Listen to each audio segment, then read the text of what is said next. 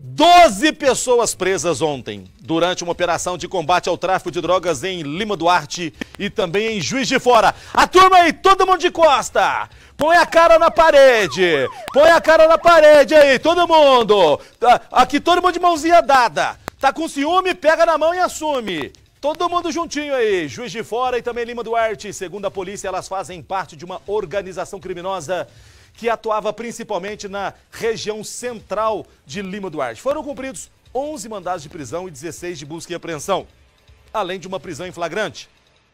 Com os suspeitos, foram apreendidos celulares, um, tab um, um tablete de maconha, é. olha lá, um pedação de maconha, 350 reais em dinheiro, um carro e uma moto. As investigações duraram cerca de três meses. Além do tráfico, o grupo também é acusado de aliciar adolescentes para a organização. Os suspeitos podem responder por associação e corrupção de menores, além do tráfico de drogas. Os homens foram levados para o Ceresp e as mulheres para a penitenciária Ariosvaldo Campos Pires, em Juiz de Fora.